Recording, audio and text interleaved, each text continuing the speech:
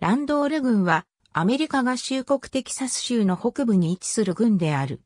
2010年国勢調査での人口は12万725人であり、2000年の10万4312人から15.7%増加した。郡庁所在地はキャニオン市であり、人口19万人のアマリロ市が北隣のポッター郡にもまたがっているため、郡の人口が多くなっている。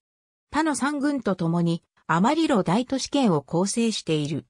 郡名はアメリカ連合国の準将であり、ジェンキンズフェリーの戦いで戦死したホレス・ランドールにちなんで名付けられた。ランドールの綴りは最後のリトルが一つだけだが、郡を創設する時の法案が綴りを間違えており、そのままになった。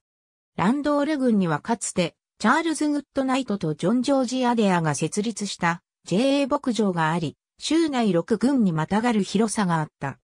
アメリカ合衆国国勢調査局によれば、軍域全面積は922平方マイルであり、このうち陸地914平方マイル、水域は8平方マイルで、水域率は0.87%である。アメリカ合衆国で2番目に大きな渓谷であるパロデュロキャニオンが軍内にある。以下は2000年の国勢調査による人口統計データである。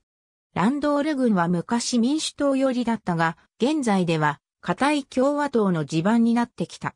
1952年以降の大統領選挙では、共和党候補者がほとんど大差で軍を制してきた。最近の5回の選挙でも61%以上を得票している。2008年の大統領選挙では、共和党候補のジョン・マケインが多数を獲得した州内200軍以上の一つとなった。マケインは軍内で41,895票を獲得して、得票率は81%となり、対する民主党のバラク・オバマは9,461票で、その全国平均にはるかに及ばなかった。アマリロ市の人口はポッター郡とランドール郡にほぼ半数が分かれている。ありがとうございます。